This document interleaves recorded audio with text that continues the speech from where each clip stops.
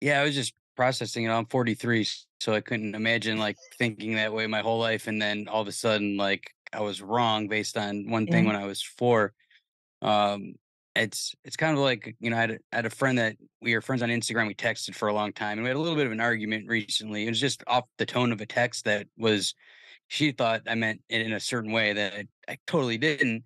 You know, we finally talked about it yesterday, and I was, uh, you know, actually on the phone, and I just explained what I meant. She's like, "Oh, I'm so stupid! Like, I totally just thought it was something else." And you know, I had this other person do something that it was similar to what I thought that you did, and then it was completely, you know, misunderstanding. But she's over there probably thinking this guy's a jerk, and like he doesn't take me seriously, and all this stuff. And I'm like, it's not even what I was talking about. Like, Mhm. totally different topic.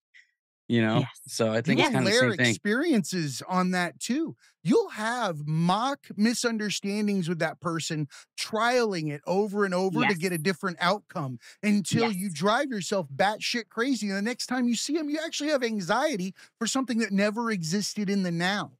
Yes, so exactly. weird. We have a mental illness just being alive.